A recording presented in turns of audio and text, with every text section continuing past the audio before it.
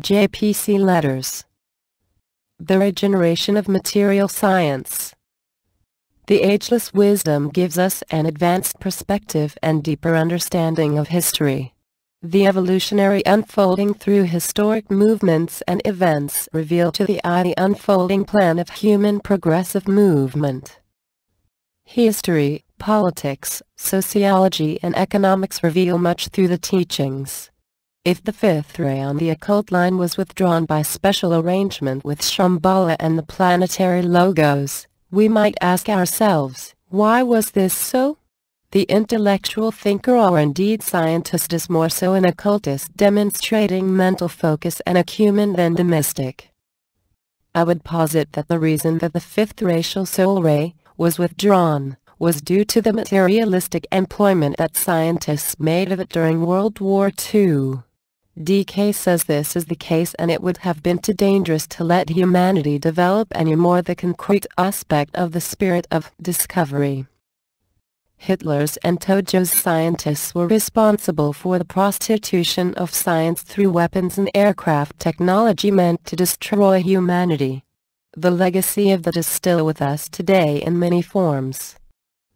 Tsongkhapa, HPB, and the Tibetan among others, came to confront materiality and material science, with the ageless wisdom hierarchical cyclic thrust of the teachings were given largely also as a counter to the growing materialism of the scientific approach and agi. E. The industrial revolutions and prior oriental materialization of wisdom due to the pervasive work of the lords of material expression. What of the product of material science, over the last 200 years or so? we are told that the great poets and artists were sent in to counter also the scientific age or indeed to balance it. It was however, seen as unsuccessful by hierarchy. This must be today, due to the great business orgs or utilities, marketing water, electricity, gas, oil etc. Early steam, water and electrical power was cornered by the scientific worker for profit and the manufacturing of products exploiting human labor instead of alleviating it. DK tells us, amongst many things, in his complete 1937 letter to arcane school students, though partially unpublished, that hierarchy were appalled by the inertia and lack of impetus in the period prior to the Industrial Revolution that they precipitated stimulus via the fifth ray, the scientific revolution.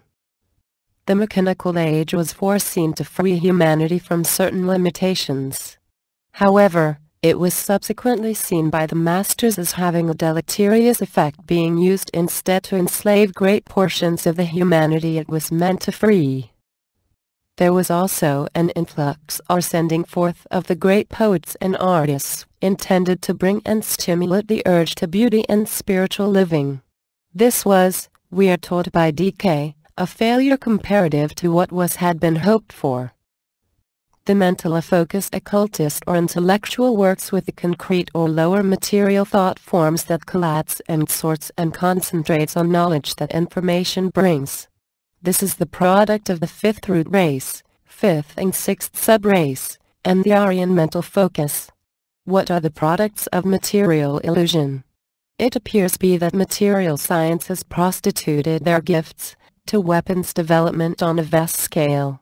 The enormous pharmaceutical and petrochemical industry also is a material product of concrete science, or 5, 3, hard ray line, which is the occult line. The future work of the scientists will, we are told, be wondrous and in loving service, that will regenerate the fourth kingdom. JPC.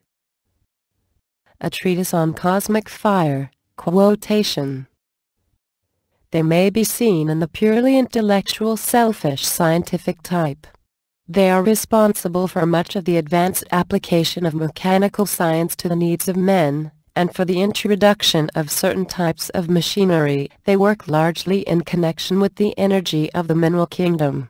By this it must be inferred that the solar lords who embody this type are linked with a group of lunar lords who respond magnetically to the devas of the mineral kingdom.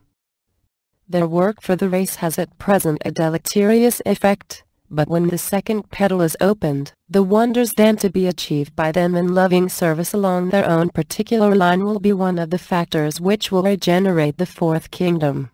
TCF 842. End of quote. The gulf between contemporary scientific thought and the secret doctrine of HPB is great. There is so much scientific material covered in the ageless wisdom of AAB and HPB that reveals much to those with interest. For instance, an intelligence or creative life force that holds all things in being and in their respective places, here HPB would say. Karma, allied to the great law of attraction and repulsion. Newton stated many scientific truths such as the velocity of a body is a constant unless altered by an external force, yet he never denied a greater force impelling planetary and gravitational forces in motion. Every action having an equal and opposite reaction is the Newtonian equation, that may also be extended to the great law of karma of cyclic and gravitational return. Energy set in motion is never lost, but may be absorbed or wrongly used, redirected or transformed. The cyclic return of energy can be seen in the electrical frequency and alternating current, the weather systems and human behavior and life patterns. Karma is an extension of the laws of cyclic motion and return governing every aspect of energy use on the planet and system, under the governance of the second Lord. Astronomical science and physics have deduced much using mathematics and cycles and these predict many, but not all, exoteric cycles and varying patterns of physical behaviors. The rheological lords are the chronologists and great timekeepers.